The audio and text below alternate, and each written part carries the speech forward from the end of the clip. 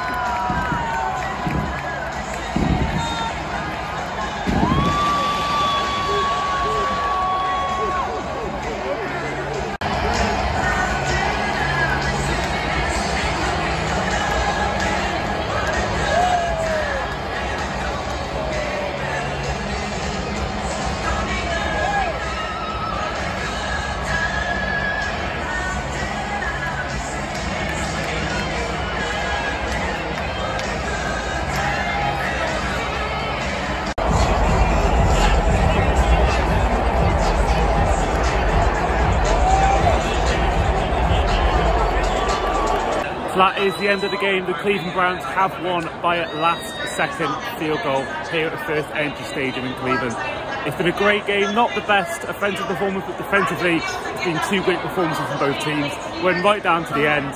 It's mighty cold, but it was a great experience. The fans loud. Both fans came in force, and they were just brilliant, brilliant to be around. Um, didn't stop till the end as well. Both fans stayed. None of no fans left early. Brilliant. Uh, brilliant experience. Definitely my top 10 NFL stadiums. And that is where we end our stateside series here on Eurotrip. We've done all 30 stages. We brought you 26 to the 30 on this channel. It's been a fantastic journey. Uh, a year and a half, two year journey on this channel. See some great stadiums, you know, Arrowhead, you know, Lambeau Field, Hard Rock Stadium, US Bank Stadium, just to name a few. Um, hope you guys have enjoyed this series along the way as well. It's been so fun making it for you. I hope you all enjoyed it. It's been utterly great.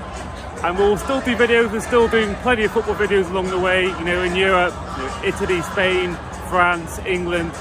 But yeah, this is where the NFL experience ends on this channel. Um, so I'm going to sign off now here in Cleveland and we'll see you guys for our next lot of videos.